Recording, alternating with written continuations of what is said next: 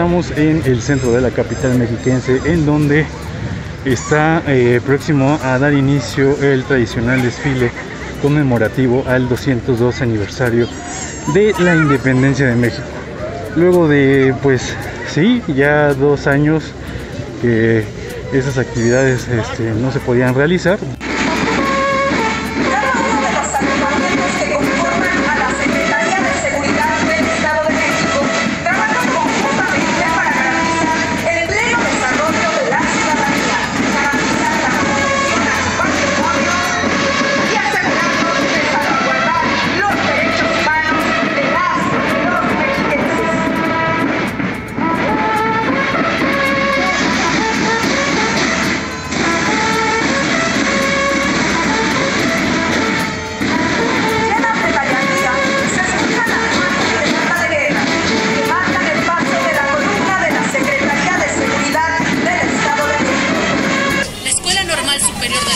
México nos presenta el carro alegórico Las campañas de Morelos.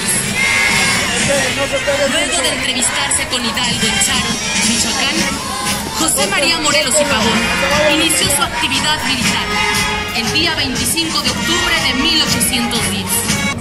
La formación de carácter, el fortalecimiento físico y mental que adquieren los pentatletas es la base para construirse desde sus orígenes, presentación, preparación fiel a sus principios, en el despliegue de criterios filosóficos, políticos o religiosos.